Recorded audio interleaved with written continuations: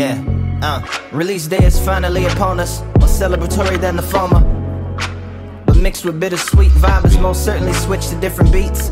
More police, like Justinian's Byzantine Christian beliefs. There's a risen rhythm, you can feel it all in the streets, like a marathon.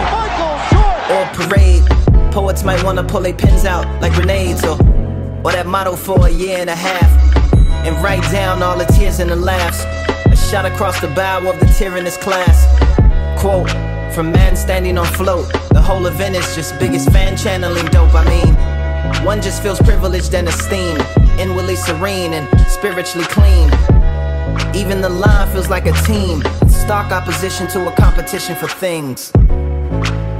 With that, these shoes that we're about to design with words starts with a soul. Not a soul, but a soul, you know what touches you to earth that's floating in nowhere, the soul. Yeah, uh. We're touching signs of equality to match. White kid at the front, let me go first, cause I was black. Said it was only right. He was used to having head starts his entire life.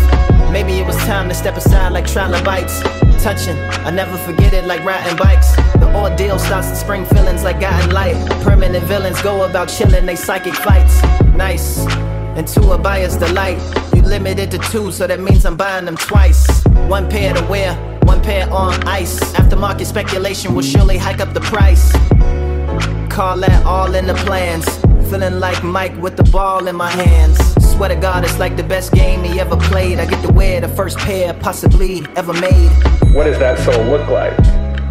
It's soft to run on, but tough enough to withstand the reality of the ground or the reality of the context we're living in.